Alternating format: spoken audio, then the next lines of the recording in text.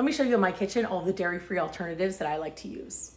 Since I keep kosher and part of that is not mixing meat and dairy, whenever I have a recipe that calls for dairy and I'm having it at a meat meal because we don't mix them even in our meals, I'll use these alternatives for that.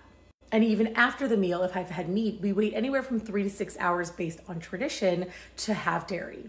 In my family, we wait three hours. So after a meat meal, we'll wait three full hours before having something dairy.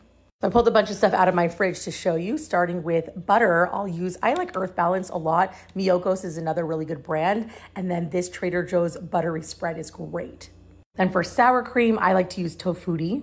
Better than sour cream. I mean, it's not better than sour cream, but it's really great if I want to make something dairy free with sour cream, like one of those cakes that has sour cream in it. And then for cream cheese, this is Violife. This brand makes really, really good vegan cheese. I don't have any in the house now, but I wanted to mention that because it melts beautifully. Then for milk, you can use almond milk, soy milk, uh, oat milk, rice milk. Almond milk is my favorite in coffee. And to make whipped cream, we can use Rich's Whip. And sometimes people use coconut milk also.